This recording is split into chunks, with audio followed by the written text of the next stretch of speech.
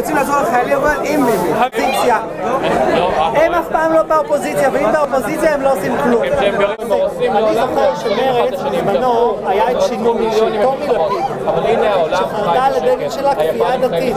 שמה? שמה? שהדגל שלה היה נגד כפייה דתית. זה אבא של אה, האפס הזה הקטן.